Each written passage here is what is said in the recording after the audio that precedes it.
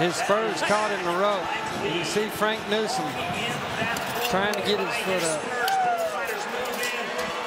And is it's fantastic to see Mike Lee finally get clear, Ty. We've talked throughout this early part of the season that this would possibly be the only thing that could derail his season would be just a strange injury, and that took a long time for the guys to get him loose. You know, Mike Lee's shanks on his spurs are kind of weird. It's almost like they point up, and, and, you know, there are times when you're riding. It's illegal to leave the shoe with your spurs in the rope, but there are times when you're riding and moving your feet around that they're going to get caught in there. You see they go clear across the arena. Frank Newsom up on that bull's back, trying to pull his foot up to take the pressure off of that spur, and finally got it done.